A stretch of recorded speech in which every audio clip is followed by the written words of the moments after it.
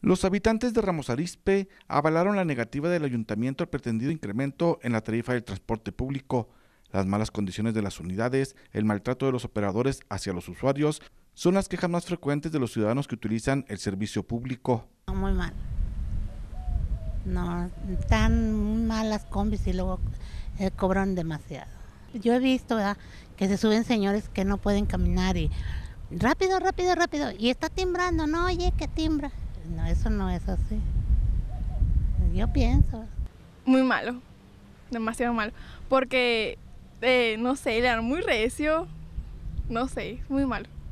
Yo también digo que está mal porque, o sea, las unidades, o sea, huelen mal, este, o sea, los choferes a veces son muy, ay, son muy enojones, o sea, porque con la gente adulta, porque, o sea, ellos no se pueden subir y a fuerza tienen que, o sea, ir, van a la carrera y quieren que ellos, o sea, se suban rápido y pues no.